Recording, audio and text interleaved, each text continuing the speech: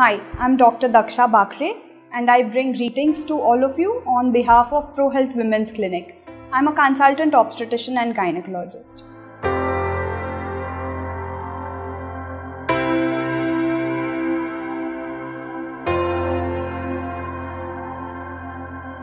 You can reschedule your periods with simple hormonal tablets called norethisterone. The tablets have to be taken 3 days before the onset of your expected period and should be continued till the date that you don't want your periods to come.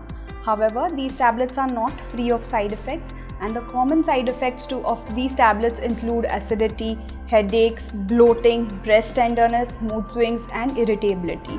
Please do not take these tablets on your own and without your doctor's prescription as these tablets may be contraindicated in some women and may have interactions with other medicines that you're already on. Also, a good news for pill users, if you are already a OC pill user, the same can be continued to delay your periods till a favorable date.